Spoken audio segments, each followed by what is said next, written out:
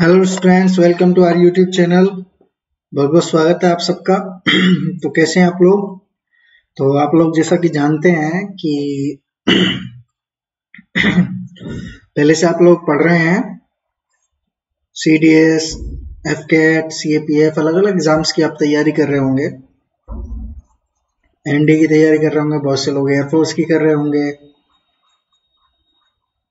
तो आप सबके लिए मैं लेके आया हूँ वोकेबलरी के सेशंस वो कैब के सेशंस में आपको दूँगा। वो कैब के सेशंस में आपको सब कुछ मिलेगा। One words antonyms synonyms phrasal verbs idioms and phrases misspelled words confusing words और वोकेबलरी भी अलग अलग तरीके से देखेंगे हम। कैटेगराइज्ड मैनर में भी देखेंगे रूट वर्ड्स से देखेंगे नेमोनिक्स से देखेंगे। तो अलग अलग तरीके से वो कैप भी पढ़ने वाले हैं तो चलिए शुरू करते हैं आज की क्लास तो जैसे कि आप देख पा रहे हैं इंडिया का लार्जेस्ट लर्निंग प्लेटफॉर्म है अन अकेडमी तो आप में से अगर कोई अन अकेडमी पर नहीं पढ़ता है अभी तक सॉरी तो उसके लिए थोड़ा बता दूँ मैं। तो जैसे कि आप फ्री कोर्सेज तो अवेलेबल अवेलेबल आपके लिए हैं। फ्री कोर्सेज आप देख पा, पाओगे अच्छे से। लेकिन अगर फ्री कोर्सेज से आपकी मतलब प्रिपरेशन नहीं हो पा रही है अच्छे तरीके से जिस भी एग्ज़ाम के लिए आप प्रिपरेशन कर रहे हैं तो आपको क्या करना होगा? आपको प्लस सब्सक्रिप्शन लेना पड़ेगा। ये क्या है? इसके बारे में थोड़ी बात करेंगे। उससे पहले थोड़ा मैं अपने बारे में बता दूँ। फाइव इयर्स का मेरे को एक्सपीरियंस है। इंग्लिश पढ़ाने का अलग अलग इंस्टीट्यूट्स के साथ मैंने इंग्लिश पढ़ाया हुआ है। और अलग अलग एग्ज़ाम्स के लिए मैं इंग्लिश पढ़ाता हूँ। जैसे सी डी एस हो गया, आपका एनडी हो गया एस एस सी हो गया सी जी एल एग्ज़ाम है सी एच एस एल है एफ़ आपका है बैंक का बैंक पी का पेपर है। तो बैंक वगैरह के एस एस सी के एग्ज़ाम्स के लिए भी मैं इंग्लिश पढ़ाता हूँ डिफेंस के एग्ज़ाम्स के अलावा। तो जैसा कि आप मुझे अभी चैनल पे देख रहे हैं डिफेंस एग्ज़ाम्स क्वेस्ट पे। इस पे आप मुझे देख पा रहे हैं और हमारे एक चैनल और है डिफेंस एग्ज़ाम एंड टैम इसको भी आप सब्सक्राइब कर इस पर आप, आपको एट टू टेन मिनट्स के शॉर्ट वीडियोस मिलेंगे। एट टू टेन मिनट्स के शॉर्ट वीडियोस क्या कॉन्सेप्ट वीडियोस होंगे। कोई भी छोटा सा कंसेप्ट हो सकता है जो आपको कम टाइम में समझाया जा सके और आपको समझ में भी आ जाए। छोटे छोटे कॉन्सेप्ट वीडियो होंगे आपको अलग अलग सब्जेक्ट्स के मिलेंगे। जैसे मैंने पी क्यू आर एस के डाले हुए हैं पी क्यू आर एस को कैसे सॉल्व करना चाहिए, उसके मैंने वीडियोस डाले हुए अलग अलग एग्जांपल्स के साथ। अभी मेरा रूट वर्ड्स की सीरीज़ वहाँ पर चल रही है। उसके बाद निमोनिक्स की भी सीरीज़ आएगी। चलिए निमोनिक्स की सीरीज़ आएगी, वो भी आप देखेंगे। तो चैनल को सब्सक्राइब ज़रूर कर लें। अगर आप नए हैं चैनल पर, पहली बार आए हैं तो चैनल को सब्सक्राइब करें और बेल आइकन को दबा दें। तो प्लस की जैसे मैं बात कर रहा था आपसे कि प्लस सब्सक्रिप्शन क्या है, इसका क्या फ़ायदा है, क्या नुकसान है? नुकसान तो कोई नहीं है।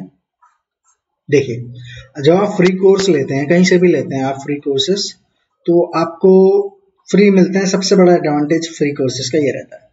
लेकिन उसके साथ कुछ प्रॉब्लम्स भी आती हैं साथ में क्योंकि there is nothing free in the world ठीक? तो आपको क्या प्रॉब्लम्स आएँगी? आपको लाइव क्लासेस डेली मिल रही हैं, नहीं मिल रही? नहीं मिलती हैं ज़्यादातर।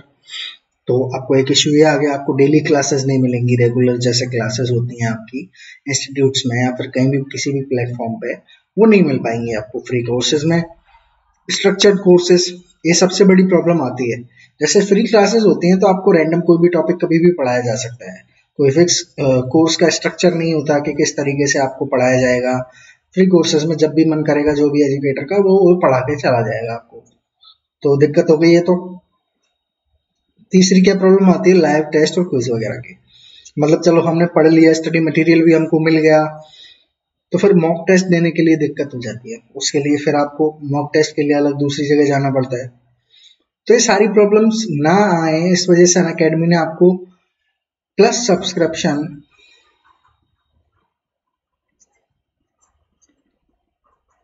प्रोवाइड करवाने का फैसला लिया है, जिसमें आपको ये पेड प्लान है, जो मिनिमम आपका 400 पर मंथ से स्टार्ट हो जाता है। ठीक है? तो तो पेड प्लान है उसमें क्या होगा? आपको डेली तो लाइव क्लासेस मिलेंगी, जिसमें आप एजुकेटर से आप इंटरेक्ट कर पाओगे, उनके साथ चैट बॉक्स में आप अपने डाउट्स क्लियर कर सकते हो। ठीक है? और पोल्स अगर अलग अलग पोल्स करवाए जाते हैं, जैसे कोई क्वेश्चन हो गया एमसीक्यू है मल्टीपल चॉइस क्वेश्चन है तो उसमें आपको पोल दिया जाएगा, आप करेक्ट आंसर चूज़ कर सकते हो। वहाँ लीडर बोर्ड यानी कि रैंकिंग वगैरह भी दिखाता है आपकी। तो आप अपनी रैंक भी एनालाइज कर सकते हो डेली की आप इम्प्रूव कर पा रहे हो कि नहीं कर पा रहे हो कोर्सेज लेने के बाद। तो उसके बाद स्ट्रक्चर कोर्सेज होते हैं आपके सारे। डेली लाइव क्लासेस लगेंगी।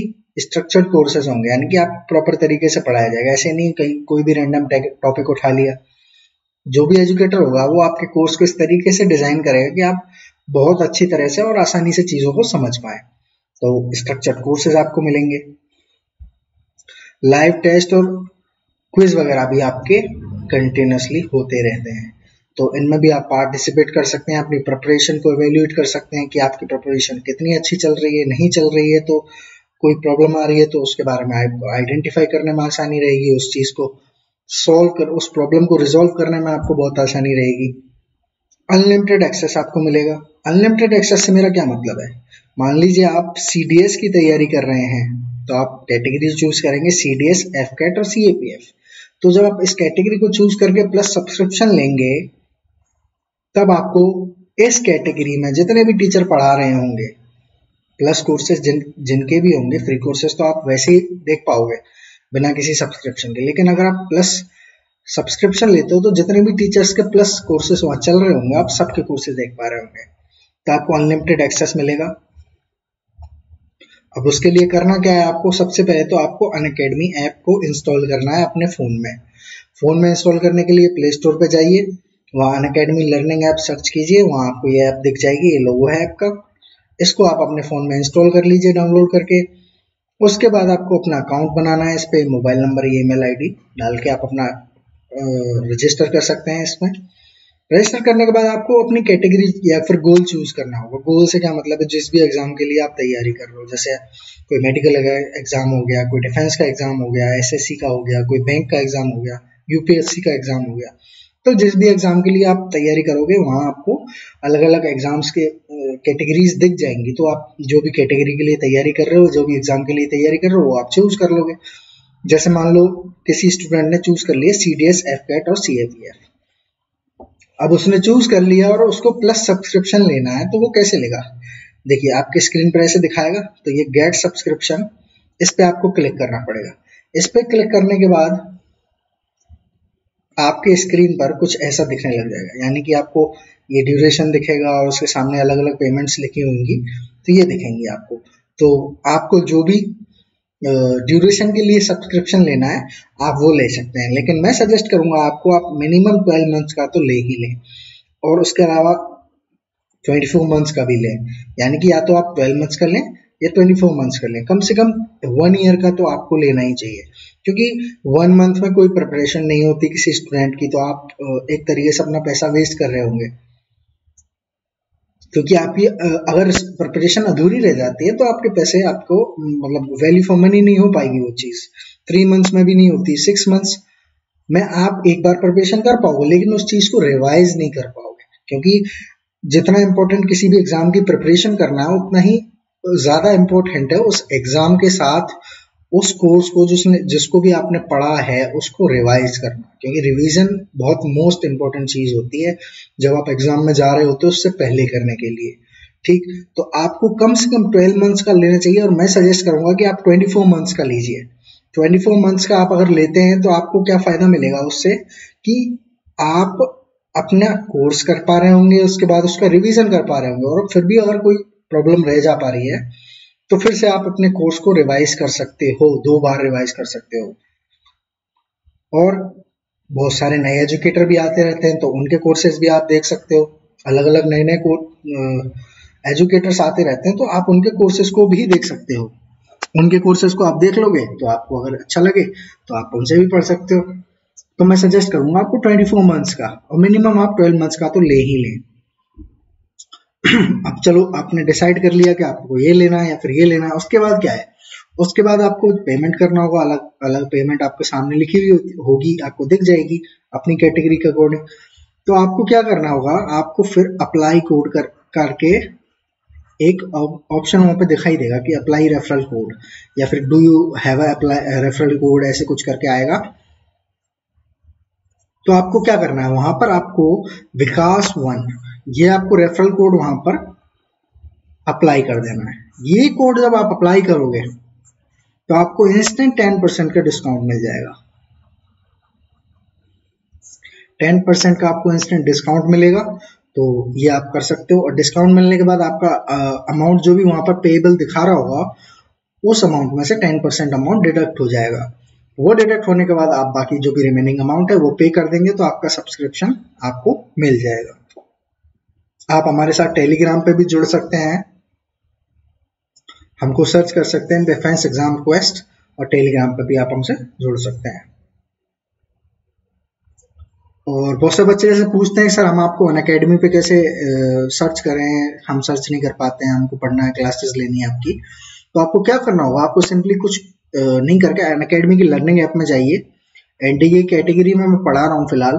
तो एनडीए कैटेगरी में आप जाओगे जब तो मेरे को सर्च करना पड़ेगा आपको विकास राज पाठक आप सर्च करोगे तो आपको मेरी प्रोफ़ाइल ये दिख, दिखने लग जाएगी सर्च रिजल्ट्स में। इस पर आप क्लिक करोगे तो आपको मेरी प्रोफ़ाइल पे आ जाओगे। ये मेरी प्रोफ़ाइल पे आ गए आप। प्रोफ़ाइल पे आने के बाद आपको क्या क्या करना है? सबसे पहले मुझे फॉलो करना है। फॉलो कर लोगे तो उससे क्या फ़ायदा होगा? आपको नोटिफिकेशंस मिलते रहेंगे मेरी क्लासेस के। मेरी क्लासेस के नोटिफिकेशंस डेली मिलते रहेंगे आपको, जो भी क्लासेस लगेंगी। लाइव क्लासेस होंगी या फिर स्पेशल क्लासेस होंगी, उन उन क्लासेस का आपको नोटिफिकेशन मिलता रहेगा।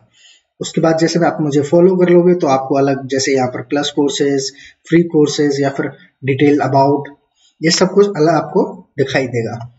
तो जैसे आप फ्री कोर्सेज पे जा रहे हो तो ये फ्री कोर्सेज है मेरे कुछ, जो पहले से मैंने बनाए हुए हैं तो इनको आप देख सकते हो वोकेबलरी के लिए। स्पेशल क्लासेस मेरी मैंने बहुत सारी ले रखी हैं, वो पहली क्लासेस आप देख सकते हो रिकॉर्डेड वर्जन में। साथ में मेरी लाइव क्लासेस भी डेली लगते हैं, उनके नोटिफिकेशन आपको मिलते रहेंगे, जो कि आप देख सकते हो। तो आपको मुझे फॉलो कर लेना है इन अकेडमी पे।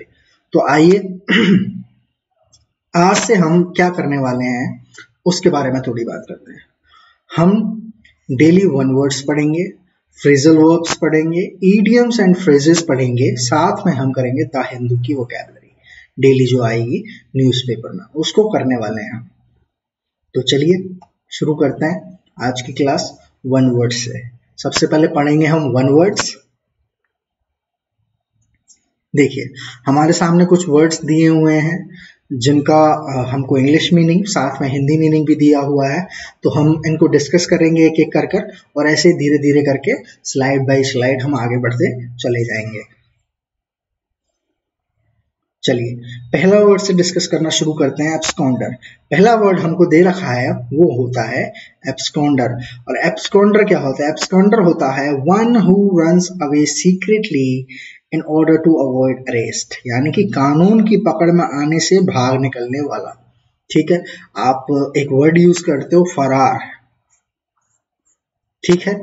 तो आप उसके लिए भी यूज़ कर सकते हो, जो फरार हो जाए। कानून की पकड़ में आने से भाग निकलने वाला जो कानून की पकड़ में नहीं आए और बच के भाग निकल जाए, उसको बोला जाता है एब्सकॉन्डर कोई गलत काम किया, उसने इलीगल कोई काम किया, कोई काम ऐसा जो नहीं करना चाहिए था लॉ के अगेंस्ट था कोई काम, या फिर कानून के विरुद्ध था कोई काम उसने किया, और वो भाग निकला पुलिस की पकड़ से तो उसको बोला जाएगा एब्सकॉन्डर तो ये आपका वन वर्ड हो गया। जब भी आपसे कोई पूछे कि भाई one who run away secretly in order to avoid arrest तो उसके लिए कौन सा वर्ड यूज़ करोगे आप? उसके लिए यूज़ करोगे आप एब्सकॉन्डर नेक्स्ट आपके सामने जो वर्ड है, वो है एक्यूस्टिक्स रिलेटिंग टू साउंड यानी फिर किसी चीज़ का आप रिलेशन अगर साउंड से दिखाते हो, ये म्यूज़िक में यूज़ होता है वैसे. म्यूज़िक में यूज़ होता है एक्यूस्टिक्स रिलेटिंग टू म्यूज़िक आप ऐसे भी कह सकते हो रिलेटेड टू म्यूज़िक वो आपने देखा होगा, कोई भी बॉलीवुड का सॉन्ग आता है तो वो सॉन्ग आ गया लेकिन उसके कुछ महीने, दो महीने बाद उसका एक अक्यूस्टिक वर्जन आता है, यानी कि गिटार पे उस गाने को दोबारा गाया जाएगा गिटार रहेगा सिर्फ़ बैकग्राउंड में तो इस तरीके से अलग अलग तरीके से उसका वर्जन निकाला जाएगा तो एक्यूस्टिक्स क्या हो गया? रिलेटेड टू म्यूज़िक साउंड इस तरीके से। नेक्स्ट वर्ड हमारे पास क्या है? वो है एक्यूमेन एक्यूमेन क्या होता है? सुपीरियर मेंटल अक्यूटनेस यानी कि मानसिक योग्यता या कुशलता। आप मेंटली कितने अच्छे हो?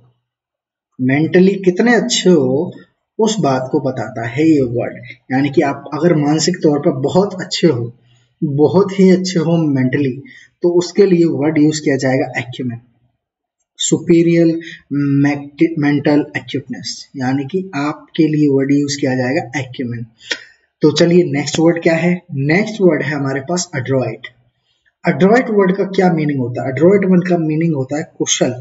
इसका हिंदी मीनिंग होता है कुशल. दक्ष. इस तरीके से भी बोल सकते हो आप. डेक्स्ट्रस इसका सिनोनिम आप बता सकते हो. इसका मतलब भी यही होता है किसी भी काम में कुशल. किसी भी काम या फिर कला में कुशल. ठीक मेरे भाई? तो इसका इंग्लिश में मीनिंग क्या होगा? हैविंग फ़िज़िकल और मेंटल स्किल या तो आपके पास कोई फ़िज़िकल स्किल हो, आप बहुत तेज भाग सकते हैं, आप बहुत बॉक्सिंग कर सकते हैं, आप हाई जंप लॉन्ग जंप इस तरीके से फ़िज़िकल आपकी कोई स्किल हो, या फिर मेंटल स्किल हो कि आप मैथमेटिकल कैलकुलेशंस बहुत फास्ट कर सकते हैं, चीज़ों का पता लगा सकते हैं, आप जासूस बन सकते हैं बहुत अच्छे। ठीक? तो उसे बोला जाता है अड्रॉइट किसी भी स्किल्ड पर्सन को बोला जाएगा अड्रॉइट जो बहुत ही अच्छे तरीके से स्किल्ड है अपने फ़ील्ड में, उसको एड्रॉइड बोल सकते हो आप। नेक्स्ट वर्ड हमारे पास है एरियल एरियल का मतलब है लिविंग इन एयर यानी कि हवा में स्थित। अब आपने देखा होगा, कई बार जैसे बाढ़ आ जाती है इंडिया में अलग अलग एरियाज़ में तो आपको एक न्यूज़ हमेशा सुनाई देती है कि उस चीफ मिनिस्टर ने एरियल सर्वे किया, या प्राइम मिनिस्टर ने एरियल सर्वे किया, ठीक? एरियल सर्वे करने से मतलब है उन्होंने चॉपर से, यानी कि हेलीकॉप्टर से या फिर प्लेन से, उन्होंने हवा से ऊपर हवा में रहकर ही सर्वे कर लिया कि नीचे क्या सिचुएशन है, हवा में स्थित। तो उसको बोला जाता है एरियल। नेक्स्ट वर्ड हमारे पास है एरोड्रम एरोड्रम का मतलब क्या होता है? स्मॉल एयरफील्ड यानी छोटा सा एयरपोर्ट एयर एयरफील्ड आप कह सकते हो। छोटा एयरपोर्ट भी कह सकते हो आप इसको।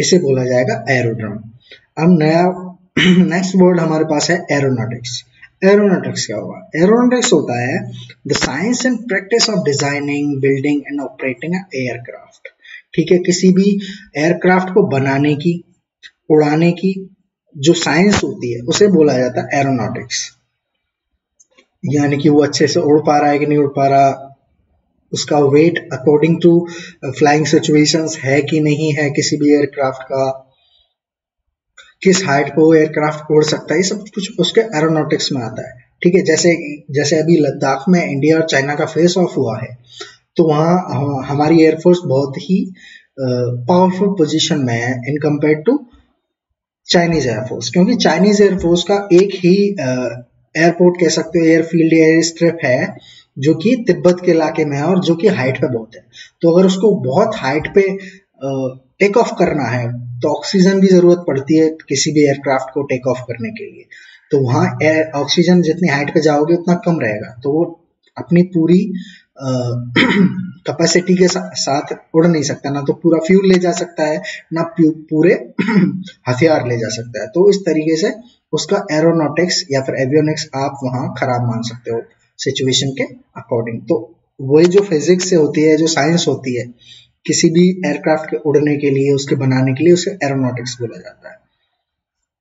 नेक्स्ट वर्ड हमारे पास है एफिडेविट एफिडेविट क्या होता है? एक रिटर्न डिक्लेरेशन होता है। सौंदर्य बोध इसको आप भी बोल सकते हो। ठीक?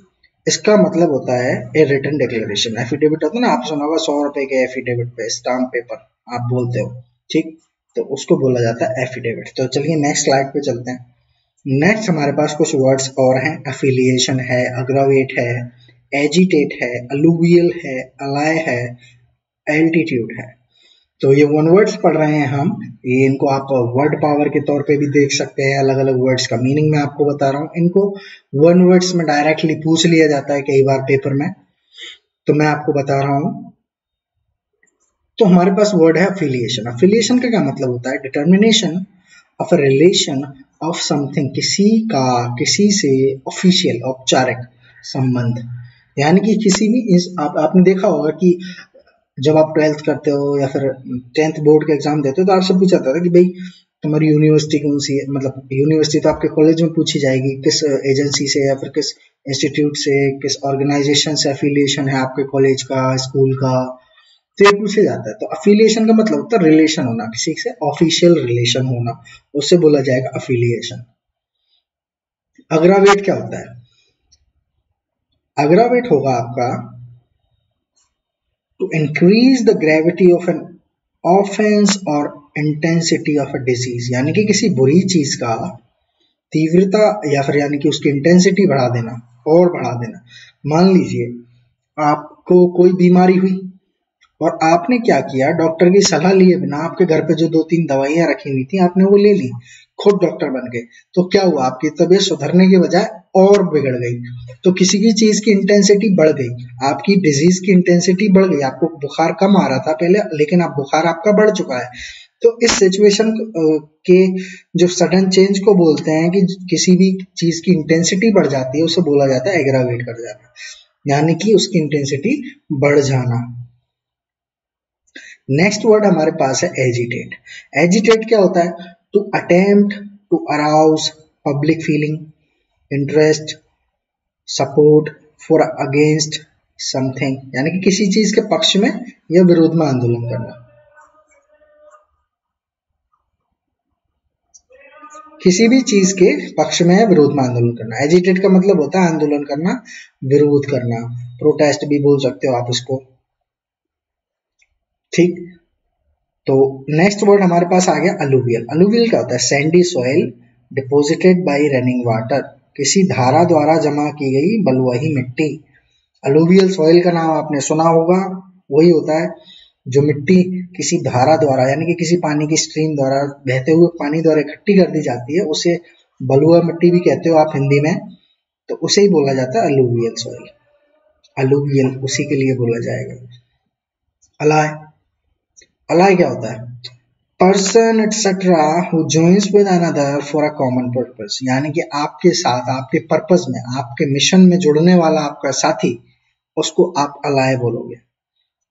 जैसे इंडिया का अलाय कौन है? इंडिया का अलाय रशिया भी है अमेरिका भी है। और पाकिस्तान का अलाय कौन है? चाइना तो आपके साथ देने वालों को आप बोलोगे अलाय किसी कार्य मुद्दे पर समर्थन करने वाला, उसे आप बोलोगे अलाय एल्टीट्यूड क्या होता है? The height of something above sea level यानी कि समुद्र तल से ऊंचाई होती है किसी भी जगह की किसी भी चीज़ की उसे बोला जाएगा एल्टीट्यूड ठीक है? तो ये हमारे वन वर्ड्स थे कुछ। अब हम चल रहे हैं फ्रेजल वर्ब्स की तरफ़। आई होप आपको वन वर्ड समझ में आए होंगे। अगर नहीं समझ पाए अच्छे से तो, तो वो वीडियो को दोबारा से रिवाइंड करके देखें अच्छे से समझें। तो फ्रेजल वर्ब की तरफ़ चलते हैं। तो चलिए, कुछ फ्रेजल वर्ब्स हमको यहाँ दे रखी हैं, इनका मीनिंग और इनका यूज़ एग्जांपल्स के थ्रू हम देखते हैं कि कैसे कैसे इनको यूज़ किया जा सकता है। हमको सबसे पहले दे रखा है अकाउंट फॉर समथिंग ठीक? अब इसका मतलब क्या होता है? To explain the reason for यानी कि जवाब देना या कारण बताना, किसी भी चीज़ का कारण बताना। इसका मतलब होता है अकाउंट फॉर यानी कि आप बोलते हो ना हिंदी में जवाब दे। अकाउंट फॉर का मतलब यही होता है, जवाब दे होना किसी भी चीज़ के लिए। तो एग्ज़ाम्पल से देखिए you are accounted for your misdemeanour यानी कि आप अपने बुरे वर्ताव के लिए जवाबदेह हो। तो जवाबदेह हो गया इसका मतलब? तो अकाउंट फोर का मतलब होता है किसी भी चीज़ के लिए जवाबदेह होना। एक फोर अभी आपने सुना होगा पहले, नहीं सुना तो आज सुन लीजिए। इसका मतलब क्या होता है? To have a strong desire for किसी भी चीज़ की तीव्र इच्छा होना। जैसे आपकी कभी कभी तीव्र इच्छा हो जाती है ना गोलगप्पे खाने की तो उसको बोला जा सकता है एक फोर। ठीक? किसी भी चीज़ की आपको तीव्र इच्छा हो, उसे बोला जाता है। स्ट्रॉन्ग डिज़ायर हो किसी भी चीज़ की, कोई काम करने की, उसको बोला जाएगा एक फोर ऐसा एग्ज़ाम्पल देख लेते हैं। I am aching for making a foreign tour यानी कि मुझे तीव्र इच्छा हो रही है, मुझे स्ट्रॉन्ग डिज़ायर हो रही है किस चीज़ की? विदेश घूमने के लिए। फॉरेन टूर पर मुझे जाना है तो मेरा बहुत मन कर रहा है फॉरेन टूर पे जाने का तो उसके लिए एक फोर एकिंग फोर ये आपका फ्रेजल वर्ब को यूज़ कर लिया गया। नेक्स्ट आपको फ्रेजल वर्ब दे रखिए एक्ट अप एक्ट अप क्या होता है? टू कॉज पेन और एनोएंस यानी कि दर्द या परेशानी पैदा करना। किसी भी चीज़ में दर्द या कोई प्रॉब्लम क्रिएट करना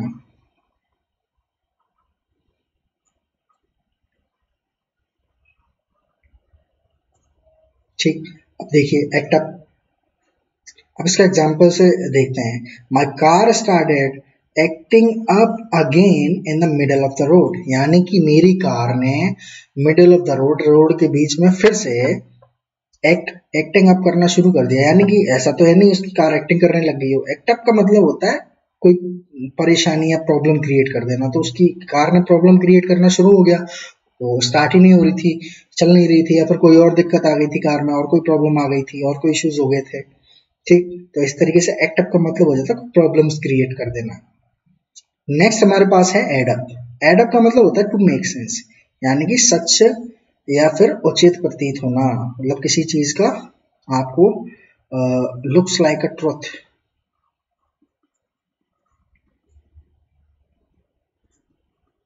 यानी कि किसी, कोई चीज़ सच आपको लिखने लगे कि ये सच है। सामने वाला जो कह रहा है वो सच है सिचुएशन जो भी है वो सच है, या आपके सामने कोई प्लान है वो सच है एड अप उसके लिए आप यूज़ कर सकते हो। अब देखिए एग्ज़ाम्पल में यूज़ करके देखते हैं इसको। द जज charge the accuse guilty because his plea simply did not add up जज ने अक्यूज को, जिसके ऊपर आरोप लगा था, उसको गिल्टी करार दे दिया। यानी कि उसको माना कि वो दोषी है, उसको दोषी करार दे दिया। क्यों? क्योंकि his plea simply did not add up उसकी जो प्ली थी, उसने जो अपनी दलीलें वहाँ रखी थी, उन्होंने एड अप नहीं किया, यानी कि उसको सच साबित या सच्चा साबित नहीं किया।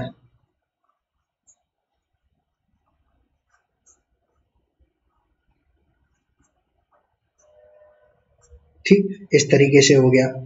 एड अप का मीनिंग नेक्स्ट चलते हैं। नेक्स्ट हमको दे रखा है एडमिट ऑफ़ एडमिट ऑफ़ का मीनिंग क्या होता है? टू हैव द स्कोप यानी कि गुंजाइश होना। अब यहाँ पर गुंजाइश ठीक से लिखा नहीं हुआ है। मैं लिख देता हूँ। गुंजाइश होना। To have the scope of example में यूज़ करके देखते हैं। In the age of cut throat competition यानी कि आज के जमाने में जहाँ काटमार मची हुई है कंपटीशन कितना खतरनाक है नेक टू नेक कंपटीशन है। Success of any company admits of no compromise on quality यानी कि किसी भी जो कंपनी है, कोई भी कंपनी है, उसकी सक्सेस एडमिट्स ऑफ़ यानी कि किसी भी कंपनी में ये गुंजाइश नहीं है कि वो अपनी क्वालिटी पे कॉम्प्रोमाइज कर सके, अपने प्रोडक्ट की क्वालिटी पे कॉम्प्रोमाइज कर सके। कोई गुंजाइश ही नहीं है कि कोई क्वालिटी पे कॉम्प्रोमाइज करके कोई कंपनी सक्सेसफुल हो सके आज के ज़माने में, आज के कंपटीशन में। ठीक? तो इस तरीके से आपने एडमिट ऑफ़ का मतलब देखा, यानी कि गुंजाइश होना। एडवाइस ऑफ़ एडवाइस ऑफ़ का क्या मतलब है? टू इन्फॉर्म ऑफिशियली किसी को औपचारिक रूप से, यानी ऑफिशियल ऑफिशियली किसी को इन्फॉर्म करना। किसी को ऑफिशियली सूचित करना। एग्ज़ाम्पल देखिए। Please advise us of many any change of address of your correspondence यानी कि आपके कोई एड्रेस वगैरह में कोई चेंज है तो हमको ऑफिशियली इन्फॉर्म कीजिए। हमको ऑफिशियली आप बताइए लेटर लिख के या फिर जिस भी तरीके से ऑफिशियली बताना चाहते हैं, हमको बताइए इन्फॉर्म कर दीजिए। ठीक? इस तरीके से एडवाइस ऑफ़ का मतलब होता है किसी को ऑफिशियली इन्फॉर्म करना। अलाउ ऑफ़ का क्या मीनिंग होगा अलाउ ऑफ़ का मीनिंग होता है to have the possibility of किसी भी चीज़ की संभावना होना। किसी भी चीज़ की पॉसिबिलिटी होना। ठीक? तो पॉसिबिलिटी होना इसके लिए फ्रेजल वर्ब यूज़ होगी आपकी अलाउ ऑफ़ अब एग्ज़ाम्पल से समझते हैं इसको। एग्ज़ाम्पल क्या कह रहा है? The present structure of instable government allow of corrupt behaviour of even petty politicians यानी कि present structure of unstable government को जो भी गवर्नमेंट अनस्टेबल है, उसका जो स्ट्रक्चर है, वो क्या करेगा लॉ ऑफ़ वो क्या बढ़ाएगा? किस चीज़ की पॉसिबिलिटी बढ़ाएगा? वो बढ़ाएगा corrupt behaviour of even petty politicians यानी कि जो छोटे मोटे होते हैं ना छोटे मोटे नेता होते हैं, छोटे भैया नेता बोल दो आप उनको, उनके वो भी करप्शन करने लग जाएँगे। मतलब इस तरीके का प्रॉब्लम हो सकता है। तो अलाउ ऑफ़ का मतलब है किसी भी चीज़ की पॉसिबिलिटी होना। तो आई होप आपको समझ में आया होगा ये। तो कुछ और देखते हैं फ्रिजल वर्ब्स नेक्स्ट हमारे पास है एम्पलीफाई ऑन एम्पलीफाई ऑन का मतलब होता है टू एक्सप्लेन इन डिटेल यानी किसी चीज़ को विस्तार से समझाना डिटेल में एक्सप्लेनेशन करना किसी चीज़ का।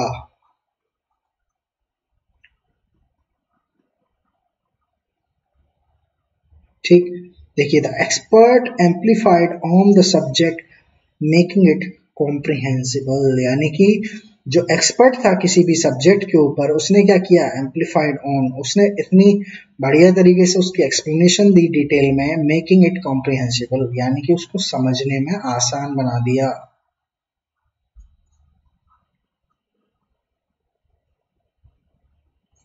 ठीक है मेरे भाई? एम्पलीफाई ऑन का मतलब हो गया डिटेल में एक्सप्लेनेशन देना है कि विस्तार से व्याख्या करना किसी भी टॉपिक की सब्जेक्ट की, किसी भी चीज़ की। नेक्स्ट हमारे पास है आंसर फोर आंसर फोर का क्या मीनिंग है? टू बी रिस्पॉन्सिबल फॉर यानी कि किसी चीज़ के प्रति जवाबदेह होना। एक और पढ़ी थी हमने, जवाबदेह होना अकाउंट फोर ठीक? और ये हमारी है आंसर फोर आंसरेबल होना किसी के लिए। एग्ज़ाम्पल देखिए I am not answerable for this mistake answerable होने का मतलब मैं जवाबदेह नहीं हूँ इस मिस्टेक के लिए। तो इसका मतलब आंसर फोर का हो गया जवाबदेह होना। नेक्स्ट है हमारे पास आंसर टू आंसर टू का मतलब क्या होगा टू बी इक्वल यानी कि किसी के भी समकक्ष होना, बराबर होना इक्वल होना। आंसर टू होता है। अब देखिए एग्ज़ाम्पल से समझने की कोशिश करते हैं। In this present generation no actor can answer to Amitabh Bachchan यानी कि आज की जनरेशन के जितने भी एक्टर्स हैं, उनमें से कोई अमिताभ बच्चन की बराबरी नहीं कर सकता। ठीक? Code no actor can answer to यानी कि कोई भी एक्टर आज के जनरेशन का अमिताभ बच्चन की बराबरी नहीं कर सकता। उनके समकक्ष नहीं हो सकता। उनके, उनको इक्वल नहीं कर सकता उनके अचीवमेंट्स में या फिर उनके लेजेंडरी में। ठीक? नेक्स्ट हमारे पास है आस्क आफ्टर आस्क आफ्टर क्या हुआ? To make inquiries about the health of someone यानी कि किसी की सेहत के बारे में पूछताछ करना, यानी कि हाल चाल पूछना। आप बोलते हो ना, अपने नॉर्मल लैंग्वेज में हाल चाल पूछना, और भाई कैसे हो? ठीक? तो इसको बोला जाता है आस्क आफ्टर एग्ज़ाम्पल में देखिए I met Alka and she was asking after you यानी कि मैं अलका से मिला और वो आपके बारे में आपके हालचाल पूछ रही थी। ठीक? इस तरीके से आस्क आफ्टर का मतलब हो गया हाल चाल पूछना। किसी की हेल्थ के बारे में पूछना। अब देखिए आस्क फोर का क्या मीनिंग होगा आस्क फोर का मीनिंग होता है टू डिमांड किसी वस्तु की मांग करना डिमांड करना किसी भी चीज़ की। अब एग्ज़ाम्पल देखिए she was asking for a hike in salary यानी कि वो अपनी सैलरी में हाइक की मांग कर रही थी, यानी कि उस सैलरी में बढ़ाना चाह रही, बढ़वाना चाह रही थी, अपनी सैलरी बढ़ाने की बात कर रही थी। ठीक? Ask for it ask for it क्या होगा? टू इनवाइट ट्रबल यानी कि परेशानी मोल ले लेना। इसको बोला जाएगा आस्क फॉर इट चलिए एग्ज़ाम्पल से देखते हैं।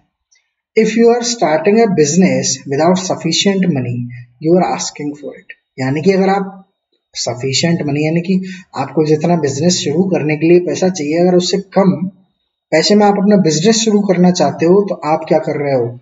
You are asking for it आप परेशानी मोल ले रहे हो।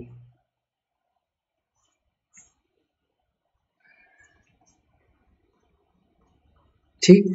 परेशानी मोल लेना। आस्किंग फॉर आस्क फॉर का मतलब हो गया परेशानी मोल लेना। नेक्स्ट हमारे पास है अटेंड ऑन अटेंड ऑन का मतलब सेवा करना टू सर्व नेक्स्ट एग्जांपल देखिए इसका। Radhika has many servants to attend on her यानी कि उसकी सेवा करने के लिए राधिका के पास बहुत सारे नौकर हैं। तो इसका आंसर हो गया आपका। अटेंड ऑन का मीनिंग हो गया टू सर्व यानी कि सेवा करना। अटेंड टू अटेंड टू का क्या मतलब है? टू पे अटेंशन यानी किसी चीज़ के ऊपर ध्यान देना या फिर किसी सी चीज़ का, किसी इंसान का ध्यान रखना।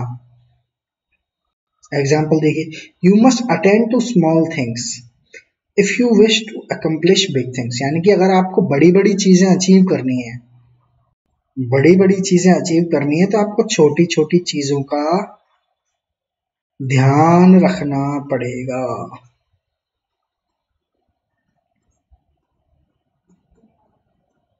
अगर आपको लाइफ में बड़ी चीज़ें अचीव करनी है तो आपको छोटी चीज़ों का ध्यान रखना पड़ेगा। तो अटेंड टू का मतलब हो गया ध्यान देना या ध्यान रखना। नेक्स्ट अब चलते हैं इडियम्स एंड फ्रेजेस की तरफ़। आई होप आपको वन वर्ड्स और फ्रेजल वर्ड समझ में आए होंगे। तो चलिए, देखते हैं।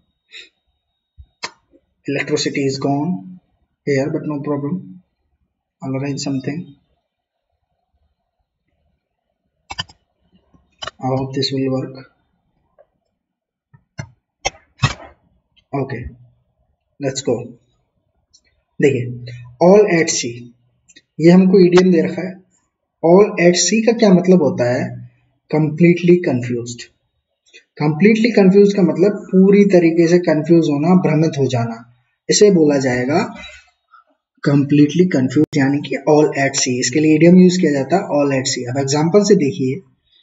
I was all at sea when I found many questions from out of syllabus in board exams. यानी कि जब बोर्ड एग्ज़ाम्स में मुझसे आउट ऑफ़ सिलेबस क्वेश्चंस पूछ लिए गए थे, तब मैं क्या था? ऑल एट सी यानी कि कंफ्यूज था। भ्रमित था। इसको बोला जाएगा भ्रमित होना। ऑल एट सी यानी कि कंफ्यूज होना बुरी तरीके से। अब देखिए नेक्स्ट हमारे पास ईडीएम क्या था? एट लवर हेड्स यानी कि शत्रुता की स्थिति इन डिस्प्यूट क्वेरलिंग यानी कि लड़ाई में होना, युद्ध में होना, एक दूसरे से। एक दूसरे से शत्रुता में होना। अब देखिए एग्जांपल देखिए। Congress and BJP are at loggerheads these days आजकल कांग्रेस और बीजेपी एक दूसरे के विरुद्ध हैं, एक दूसरे के विरुद्ध हैं लवर हेड्स ठीक है मेरे भाई? इसका मतलब हो गया शत्रुता की स्थिति। एट स्नेल स्पेस अब स्नेल का मतलब होता है घूँगा एक घोंगा ही होता है क्या? नहीं। हाँ शायद घूँगा बोलते हैं हिंदी में उसको। मुझे नहीं पता आपकी लैंग्वेज में क्या बोलते हैं उसको। तो स्नेल एक जानवर होता है जानवर क्या कह रहा हूँ?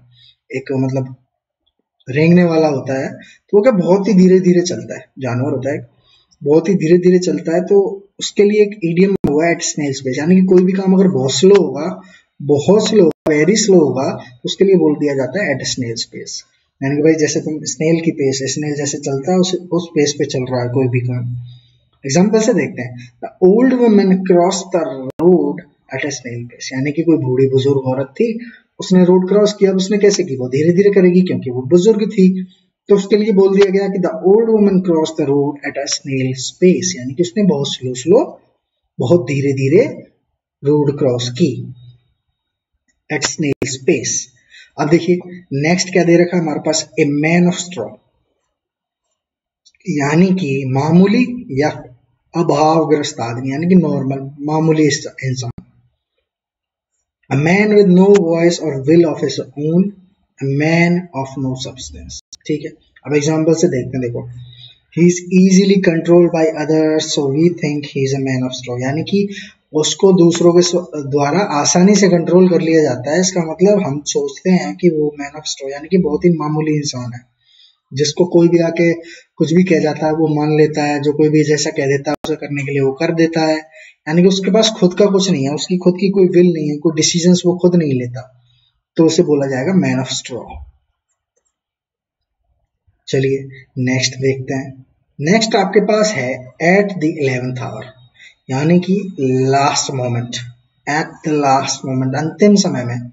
एग्ज़ाम्पल से समझते हैं कि he arrive there at the eleventh hour जैसे मान लीजिए आपकी तीन बजे की मूवी का शो है और आप टू फिफ्टी फाइव पर पहुँचते हैं मूवी के लिए तो आपके लिए बोला जाएगा he arrive there at the eleventh hour यानी कि वो बिल्कुल लास्ट मोमेंट पे मूवी स्टार्ट होने से पहले वहाँ पर पहुँचा। तो द इलेवेंथ आवर का मतलब हो गया अंतिम समय में। एट स्टेक इसका मतलब होता है दाव पर। आप बोलते हो ना, मेरी इज़्ज़त दाव पे लगी हुई है। तो एट स्टेक जो दाव पे लगे होने के लिए यूज़ होता है इंग्लिश मीडियम उसे बोला जाता है एट स्टेक एट रिस्क और insecure the freedom of the press is at stake ठीक है? ये बहुत यूज़ किया जाता है the freedom of the press is at stake यानी कि जो पत्रकार हैं प्रेस है, पत्रकारिता है, उसकी जो फ्रीडम है, उसकी आज़ादी है एट स्टेक यानी कि वो दाव पर लगी हुई है। ठीक? एट सिक्सेस एंड सेवन्स यानी कि अस्त व्यस्त होना डिसऑर्डर में होना किसी भी चीज़ का। उसके लिए कोई इस सिचुएशन में अगर एडियम यूज़ कर रहा हो तो उसके लिए यूज़ किया जाता है एट सिक्सेस एंड सेवन ठीक? अब इसको एग्जांपल से समझते हैं, देखिए। I am really at sixes and sevens over taking the new job यानी कि मुझे कोई नई जॉब ऑफ़र की गई है। लेकिन मैं कंफ्यूज हूँ बहुत बुरी तरीके से कि मैं लूँ या ना लूँ। दूसरा, फिर मैं, मेरा टाइम अगर नहीं बैठता है तो मैं क्या करूँगा? तो बहुत चीज़ें अनस्टेबल सी हैं अस्त व्यस्त हैं, बहुत ही डिसऑर्डर में है। तो मैं क्या बोलूँगा? I am really at six and seven यानी कि मैं बहुत ही अस्त व्यस्त हूँ। ओवरटेकिंग द न्यू जॉब ठीक? चलिए। नेक्स्ट देखिए एप्पल पाई ऑर्डर बिल्कुल ठीक हालत में। यानी कि इन गुड कंडीशन किसी भी चीज़ की कंडीशन के लिए उसको बताना हो तो आपके लिए यूज़ करने के लिए ईडियम दिया हुआ है एक एप्पल पाई ऑर्डर इसको यूज़ कर सकते हैं। एग्ज़ाम्पल से देखते हैं कैसे यूज़ करना होता है इसको एग्ज़ाम्पल में। When my father return from the office जब मेरे पिताजी मेरे फादर ऑफ़िस से वापस घर आए it was a pleasant surprise to see his room and apple pie order तो उनका जो रूम था, वो एकदम बढ़िया तरीके से जैसा होना चाहिए, अच्छी तरीके से अच्छी तरीके से रखा हुआ था रूम को। मतलब अच्छे से सफ़ाई हो रखी थी, जो चीज़ जहाँ होनी चाहिए, वहाँ थी। एकदम वेल मैनर्ड तरीके में सारी चीज़ें अपनी अपनी रखी हुई थी। तो उसको क्या बोलोगे? Pleasant surprise to see his room and apple pie order यानी कि एप्पल पाई ऑर्डर यानी कि हर चीज़ बिल्कुल सही हालत में थी, उनके लिए वो सरप्राइज़ था, जब वो ऑफ़िस से वापस आए। एट अ पिंच यानी कि समस्या में होना, किसी भी प्रॉब्लम में या फिर ट्रबल में होना। इसका मतलब हो गया एट अ पिंच का प्रॉब्लम में होना। देखिए एग्ज़ाम्पल क्या कह रहा है? We should help our friends when they are at a pinch यानी कि जब हमारे दोस्त प्रॉब्लम में हो, तब उनकी मदद हमको करनी चाहिए। ये तो बिल्कुल सही बात है, जब हमारे दोस्त प्रॉब्लम हो तो हम उनकी मदद करेंगे, जब हम प्रॉब्लम में हो तो हमारे दोस्त हमारी मदद करेंगे। नेक्स्ट देखिए एट आर्म्स लेंथ यानी कि दूर रखना किसी चीज़ को, उसके लिए यूज़ किया जाता है एट आर्म्स लेंथ यानी कि अवॉइड बिकमिंग टू फ्रेंडली किसी को बोलते हैं ना, भाई, ज़्यादा दूर दूर रहे, ज़्यादा पास में मत आओ। दूर रहो, दूर रह के बात करो। तो उसे बोला जाता है एट आर्म्स लेंथ दोस्ती ना रखना, इस तरीके से भी बोल सकते हो। एग्ज़ाम्पल के लिए देखा जाए तो he keeps all his clients at arm's length यानी कि कोई भी एक काम करता है, आपका जो भी क्लाइंट है, उसको आप क्या करते हो? एट आर्म्स लेंथ उनसे आप दोस्ती नहीं करते, आप उनको थोड़ा दूर रखते हो। ठीक? उसे बोला जाएगा एट आर्म्स लेंथ ये देखिए अब हमारे पास एक वर्ड दिया हुआ इडियम दिया हुआ एट ईज एट ईज आपने इसका बहुत यूज़ सुना होगा। ठीक? Free from pain and anxiety इसका मतलब होता है चिंता रहित होना। अब एग्ज़ाम्पल में देखते हैं इसका he didn't feel completely at ease in the strange surroundings यानी कि स्ट्रेंज सराउंडिंग्स में अजीब अजीब उसके जो आसपास का वातावरण था, उसमें क्या किया? क्या हुआ? उसने कम्प्लीटली एट ईज कम्प्लीटली उसने चिंता रहित फील नहीं किया। जैसे मान लो आप कहीं पहली बार नई जगह पे जाते हो, बहुत टाइम बाद तो आपको अजीब सा लगता है। कुछ दिन हो सकता है, बहुत से लोगों को नींद ना आती हो, बहुत से लोग सो नहीं पा रहे हैं। मतलब उनको अजीब लगता है, उनको होम सिकनेस भी हो जाती है बहुतों को। तो उसी को बोला जाता है at ease he didn't feel completely at ease in the strange surroundings at ease का मतलब हो गया आपका चिंता रहित फ्री फ्रॉम टेंशन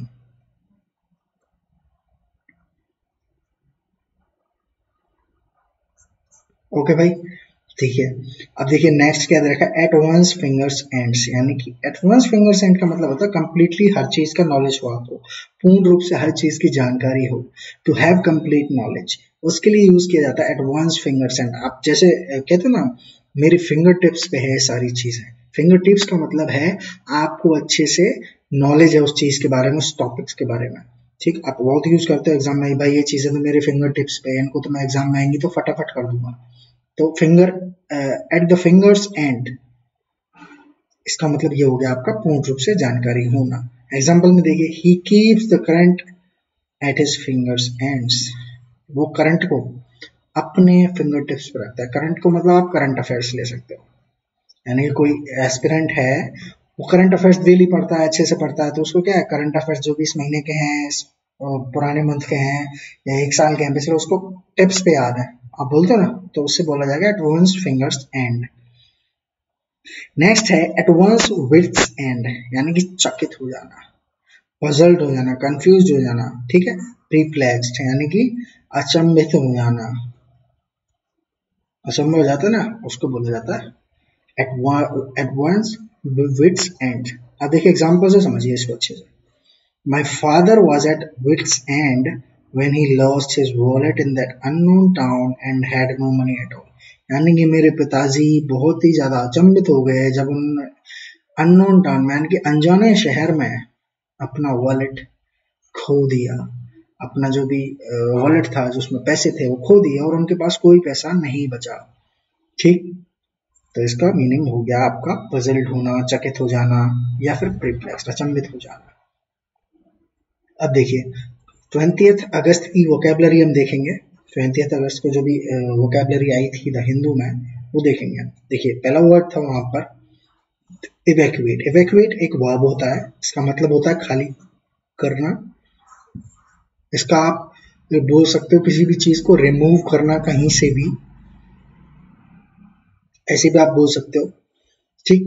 आपने बहुत सुना होगा कि किसी भी बिल्डिंग में आग लग जाती है तो वहाँ से लोगों को बचाया जाता है तो उसको बोलते हैं इवेक्यूएशन चल रहा है। इस तरीके से बोला जाता है। तो इवेक्यूएशन का मतलब होता है खाली कराना सिनोनिम्स इसके क्या हो गया क्लियर करना मूव आउट किसी को निकालना वहाँ से। क्लियर करना किसी सिचुएशन को, वहाँ से कोई जो भी लोग हैं वहाँ से हटाना। जैसे क्राइम सीन होता है, कोई कहीं पे क्राइम हो गया तो वहाँ पुलिस आके आपको लोगों को हटा देती है तो क्राइम सीन क्लियर किया जाता है। तो इवेक्यूएशन बोल सकते हो उसको भी।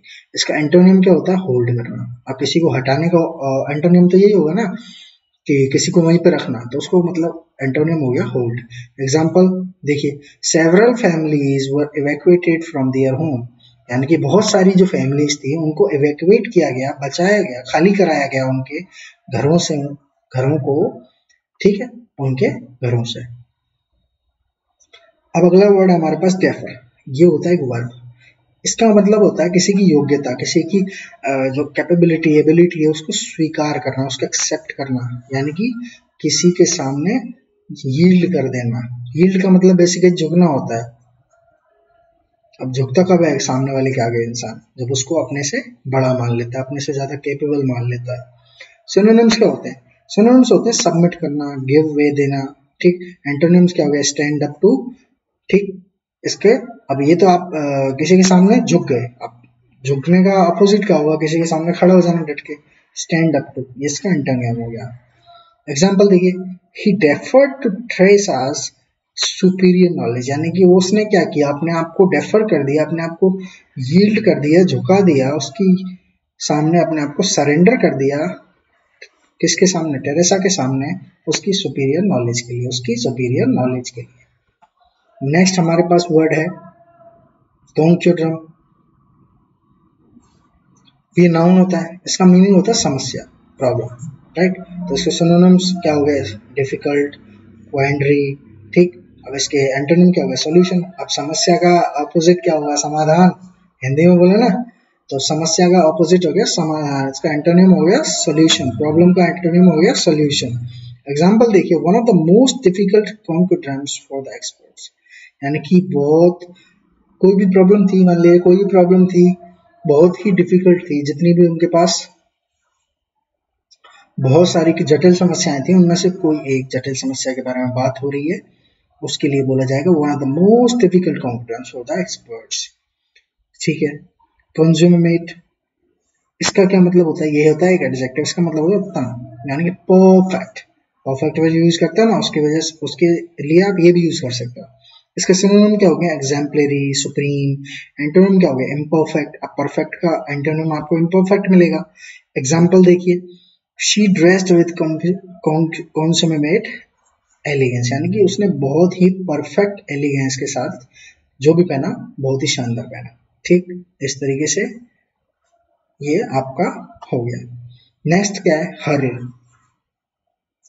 हर्ल का मतलब होता है किसी भी चीज़ को बहुत तेज़ी से फेंकना, किसी की तरफ़ थ्रो थ्रो करना। ठीक? सिनोनिम्स हो गए टॉस यानी कि टॉस करना भी किसी भी चीज़ को फेंकना। जैसे आप कॉइन को फेंकते टॉस करने के फ्लिंग का मतलब यही होता है किसी चीज़ को फेंकना। एंटोनियम का मतलब हो गया किसी चीज़ को कैच कर लेना। थ्रो करना कैच करना, एक दूसरे का एंटोनियम्स होता है। ठीक? तो क्रिकेट में भी आप यूज़ कर सकते हो उसको।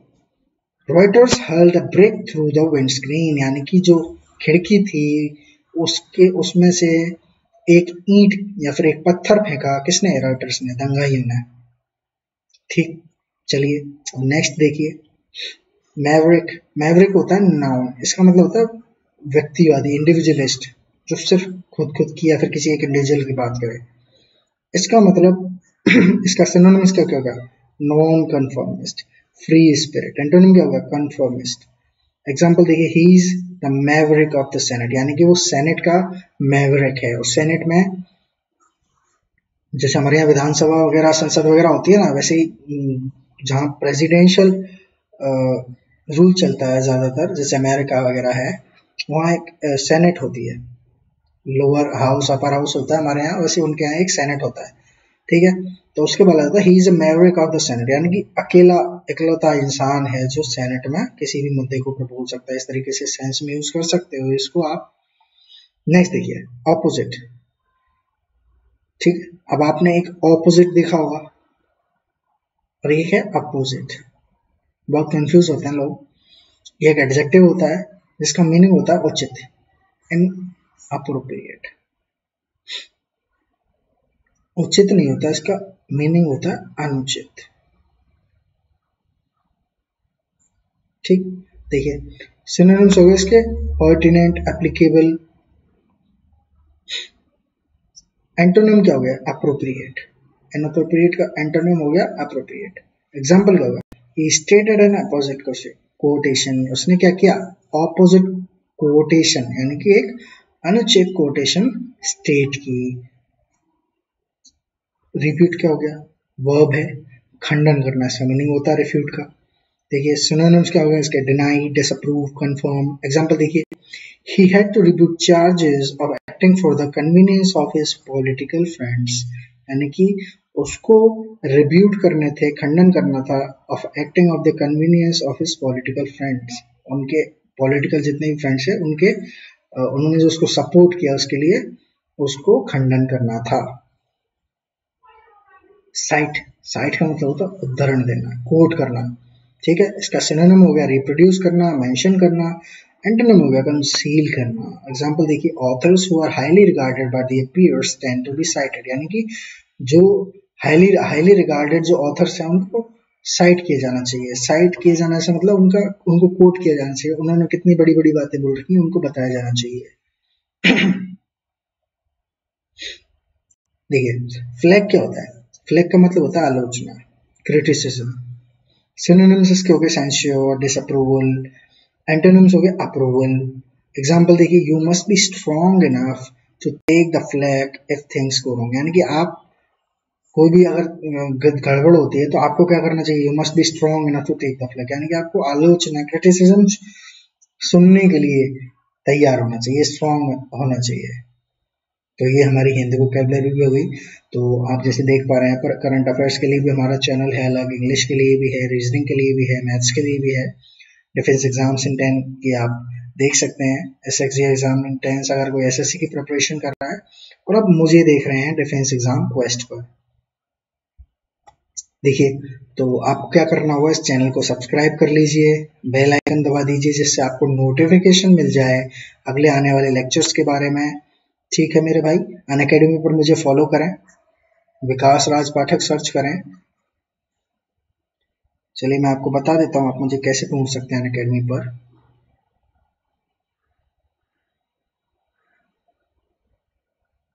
देखिए। आपको सर्च करना है अकेडमी पर जाकर विकास राज पाठक वहाँ आपको मेरी प्रोफ़ाइल दिखेगी, आप मुझे फॉलो कर लें और मेरे सारे नोटिफिकेशंस आपको वहाँ मिल जाए करेंगे ऐप पर। तो लेकिन आपको एक चीज़ का ध्यान रखना है एनडीए कैटेगरी में जाकर मुझे सर्च करें। डिफेंस की ही प्रिपरेशन कर रहे हैं आप लोग। तो आपको ये सब चीज़ों के बारे में एक्चुअली पता होगा तो आप वही पढ़ रहे होंगे। तो आप जाके सीधे मुझे फॉलो कर सकते हैं। और प्लस सब्सक्रिप्शन अगर कोई लेना चाहे